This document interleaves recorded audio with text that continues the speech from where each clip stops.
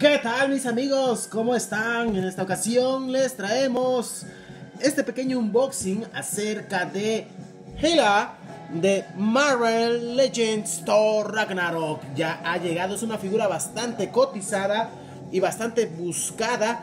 Ahorita, a pesar que la serie acaba de salir, pues es una figura impresionante la cual no queríamos dejar pasar para que ustedes chequen el tipo de molde, pintura y cómo viene. Y si no la tienes y si aún así no la has conseguido, la verdad es que no sé qué es lo que estás esperando para poder tenerla en tus manos. Debido a que es una gran, gran, gran figura que pues muy, muy pocos moldes de Marvel Legends se han hecho exclusivamente para personajes y este es uno de ellos.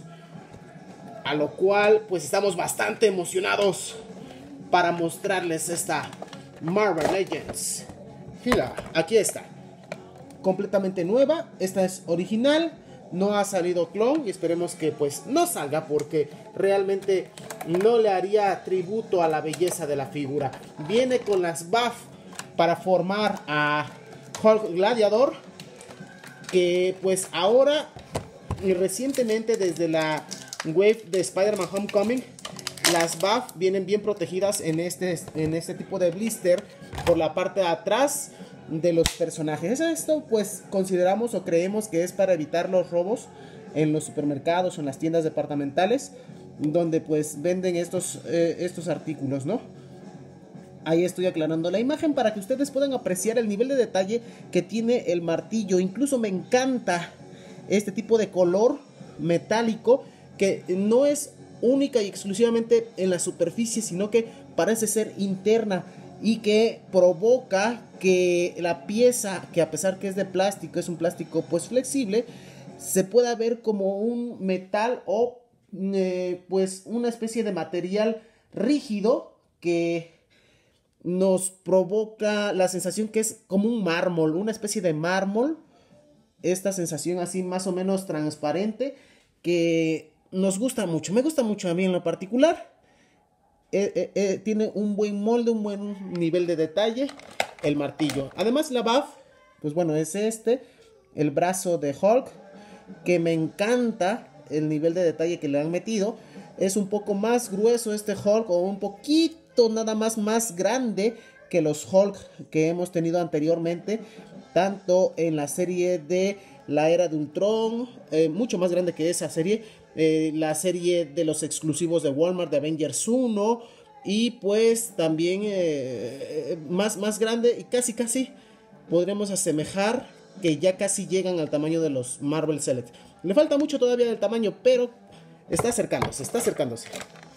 Aquí tenemos a Hila, la cual trae una cabeza extra. Bueno, de hecho son dos cabezas. No son, eh, de hecho, prácticamente vas a poder tener dos personajes en uno. Vamos a tratar de acercar y de observar el nivel de detalle de la cara es impresionante. Me encanta, creo que es una de las mejores caras o de los mejores rostros que han venido sacando. Próximamente vamos a subir el video de Gamora, que también es una chulada, está idéntica al personaje. Y también aquí me encantan los detalles tanto de las cejas, de los ojos, el sombreado, el brillo que le ponen en los ojos. El nivel de detallado está increíble. Ahora entiendo por qué es una de las figuras más buscadas. Muchos en las imágenes promocionales veían al rostro como si estuviera completamente blanco. Pero no, sí tiene su color de piel, es pálida, eso sí. Me fascina sobre todo el nivel de detalle de pintura que está encima de las cejas Chequenlo. Bueno, no sé si se puede ver aquí en el video, pero cuando ustedes tengan a la suya, pónganle mucha atención. Tiene las venas, unas venas eh, detalladas encima de las cejas, que a simple vista no la ves mucho, pero si te acercas lo puedes notar. Está increíble el nivel de detalle de esta cabeza. Para poder sacar eh, a esta, a esta gila de, de este empaque hay que quitar primero la capa porque está en la parte de atrás del blister y posteriormente hay que quitar la cabeza. Esto debido a que la cabeza está por la parte de atrás del, blister y el cuerpo por la parte de adelante. Es muy buen detalle por parte de Marvel Legends para que no haya robos hormigas y demás en los supermercados. Esta es, como les comentaba, el primer personaje. Sin este su modo de batalla o pues su modo de, o la forma normal. La figura es muy alta, es bastante alta.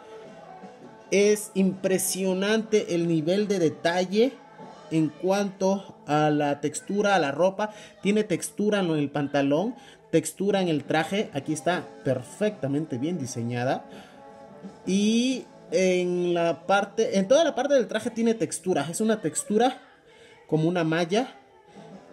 Los relieves de su, pues, de su traje o de, este tipo de armadura eh, es un verde metálico que brilla a la luz, pero no como, les comentaba de algunas otras piezas que no se quedan nada más en el metálico, sino que le da profundidad como en el martillo de, de Hulk.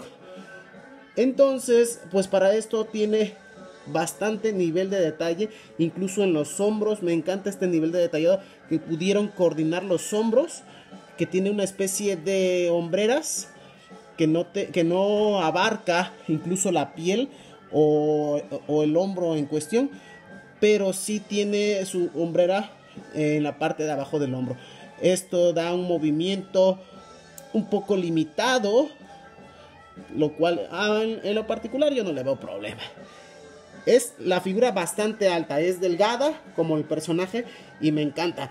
Ahora vamos a ver por qué les digo que tenemos a dos personajes. Pues bueno, este es un modo, no sé cómo llamarlo, no hemos visto la película, como de, de batalla. La articulación del cuello está perfectamente bien hecha para que no puedas tener problemas y no se vaya a romper.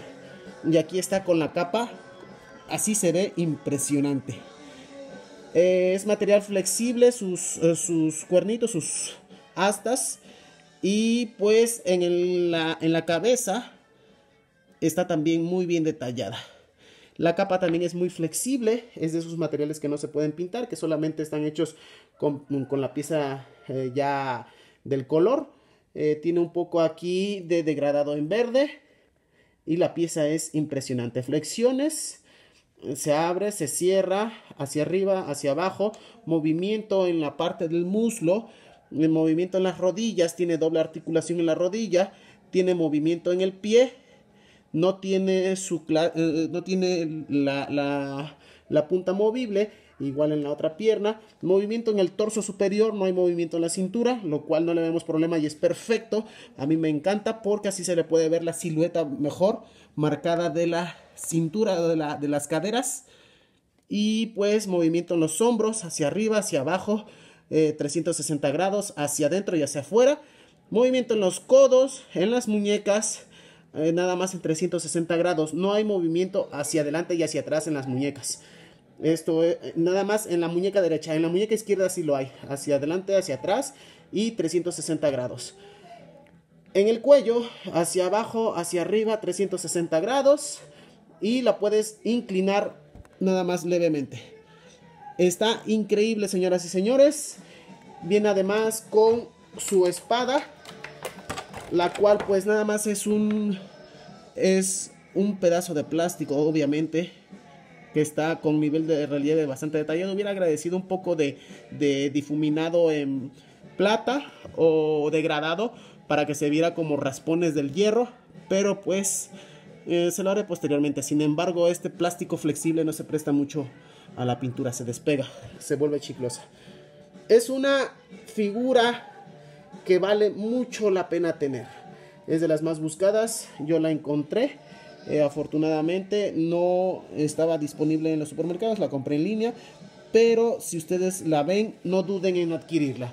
Eh, estamos en este canal para servirles. En la parte de abajo puedes encontrar mis redes sociales, puedes encontrar eh, también eh, donde ponerte en contacto conmigo. Chécate las páginas en donde ando, dale me gusta al video, suscríbete al canal para más actualizaciones como estas, activa las notificaciones y hasta la próxima.